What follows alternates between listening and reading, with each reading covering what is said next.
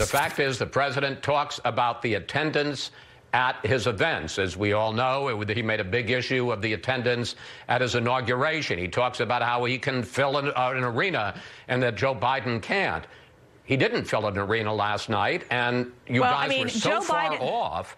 Uh, wait, let me, uh, if I may finish. And you guys were so far off that you had planned an outdoor rally, and there wasn't an overflow crowd. And I, watching the coverage and talking to Mark Meredith on the ground today, protesters did not stop people from coming to that rally. The fact is, oh, absolutely, they people did. Didn't show I'm up. telling you, there were people. I'm, I'm telling you, there were people and families that didn't want to, br- couldn't bring their children because of concerns of the protesters. We're, we're, we're we now in a virtual here. time. we're going Mercedes, into about we're, we're showing over Mercedes. Please, please let me. Mercedes, please don't filibuster. Mercedes, please don't filibuster. We're showing pictures here, and it shows big empty areas. It, uh, frankly, it makes you guys look silly when you deny the reality of what happened. And as far as you know, the social We're not distancing denying the reality of the what, floor. I don't know what you're saying. That are you?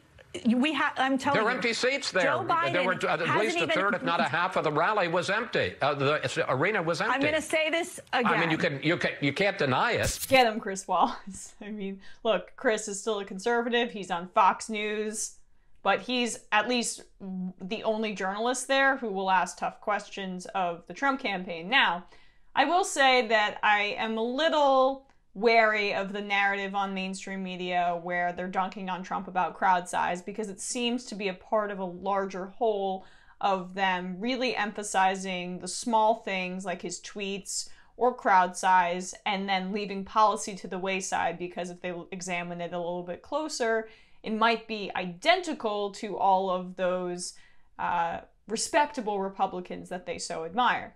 But I do think that it's a huge story because Trump put such an emphasis on crowd size that he failed so miserably, and it's inescapable. I mean, the uh, Renee or not Renee Mercedes. Why did I want to say Renee? I'm forgetting her last name. Uh, that that Trump Trump spokesperson there. She tried to weasel out of it, but Chris Wallace wasn't having it because this is going to be devastating imagery for the Trump campaign. No ifs, ands, or buts about it.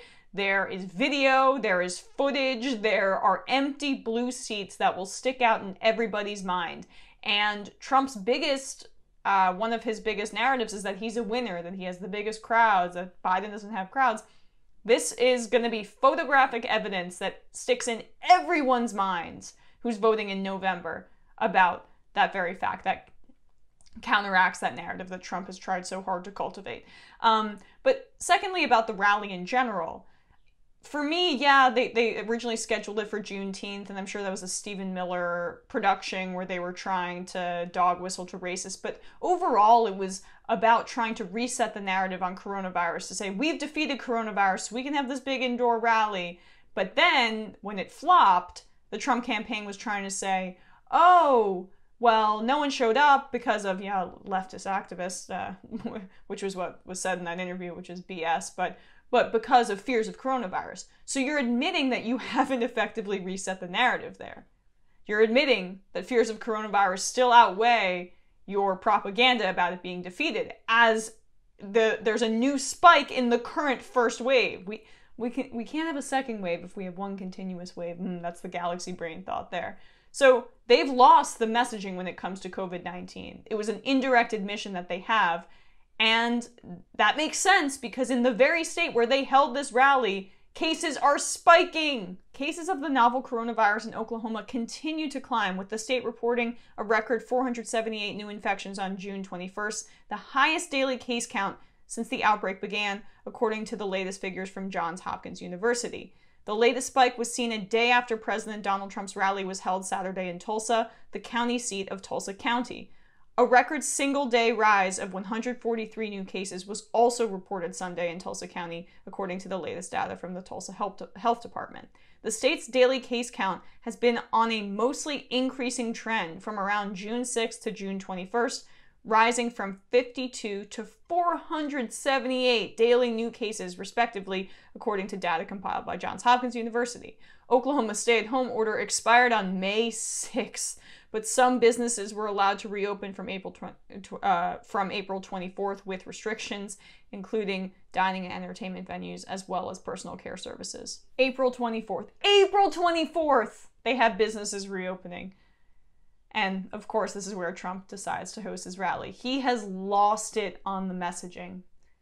He really it's it's gotten out of his control. And I think this was all of that coming to an ugly head for his team.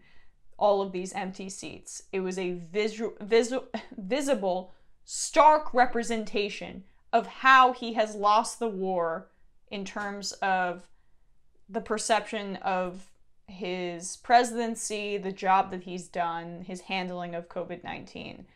It's going to be a tough road for him, and I think that spokesperson who sparred with Chris Wallace knew that, even though she did her best to lie and deflect, do the standard Trump campaign playbook.